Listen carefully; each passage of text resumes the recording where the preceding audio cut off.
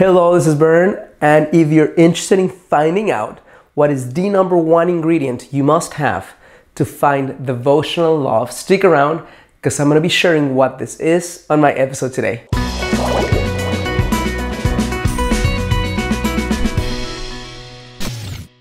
Hello, this is Bern. Welcome to your great livetv.com. Today is another edition of Get the Love you crave, and I'm very blessed to be sharing with you today the number one ingredient you must absolutely embody if you want to find love. I get approached by a lot of women who know that I've had the blessing of helping thousands of women so far in my life to find their soulmate, and I get asked the question in some form or another how can I find this kind of love, and why am I not finding this? What am I doing wrong? And I can tell you that one absolute key that determines, in my mind, the ability for that woman to find love is the level of hunger, true hunger that she has for finding this type of love, of experiencing, expressing this. Another word to describe this would be inner fire or conviction of the heart kind, not the mind kind. Uh, so when somebody has hunger and inner fire, the strategy that can be applied to this hunger is explosively powerful. You can have the best strategy in the world without hunger, it just doesn't happen. So let me first demystify what hunger is not. A lot of women say, I'm not going to be hungry because that means I'm desperate. And hunger and desperation could not be more different, even though they're often confused. Okay, desperation is you feeling like your life sucks and you are incomplete and you need another human being to complete the void in your life.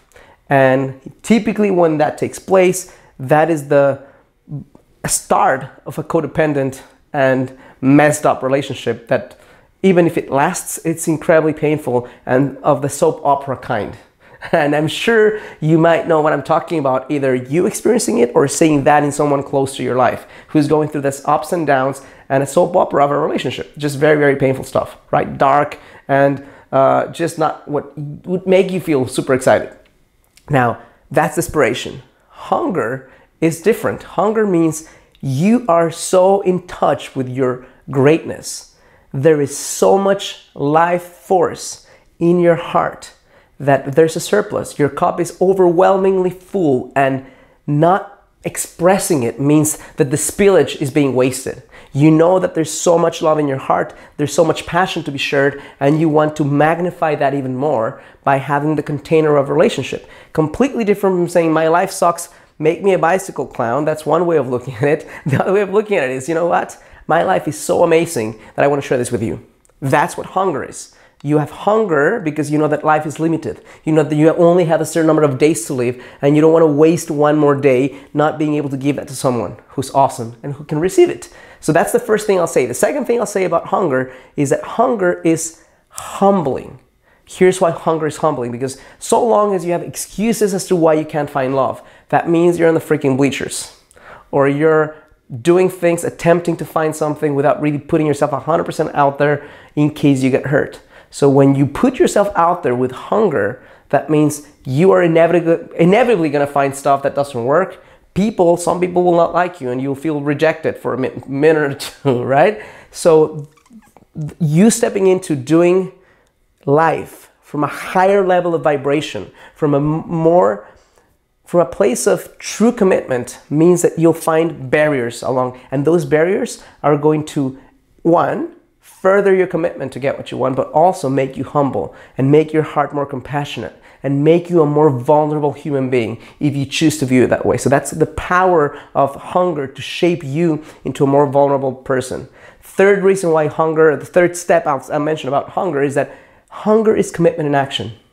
Hunger means that you're willing to overcome obstacles even if they're not fun to overcome, because you know that if you don't overcome those obstacles, the alternative means not being able to share your heart with someone. And here's how you know that you're really hungry for something when an obstacle presents itself and you're willing to do whatever it takes to go past it.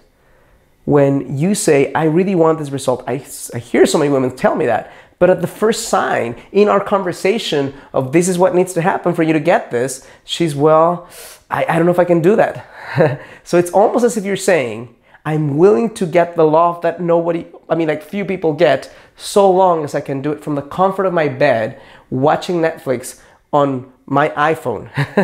Can you do it? Some people do, but it's the minority of people. Most people have to get themselves very uncomfortable in the process of getting what they want. But guess what? After the fear and the rejection and getting uncomfortable, that hunger allows them to create the kind of connection that makes their life a true blessing, makes their life a place where they wake up and say, How on earth did I get so lucky to share this with this human being that I have in front of me? So I hope this makes sense. I hope you step into hunger. I hope you remove the excuses. I, I, I hope that when you find that this is the next step for you to find love, whether that is you uh, connecting with more men, whether that's you getting a mentor, whether that is you figuring out what are the excuses you've been having and really doing away with them, whatever that is, that you do it from a place of hunger versus excuses. If this is helpful, useful, insightful to you in any way, here's what I uh, invite you to do. Number one, click like on my video. Number two, subscribe to my channel. Number three, on the description of this video or on a link somewhere on your screen, you'll see a way for you to sign up to a webinar that I'm hosting that shares with you how to find your soulmate in 90 days or less. Super powerful stuff and absolutely free. Thank you so much for connecting with me. And as always, I challenge you to live a full and a conscious life.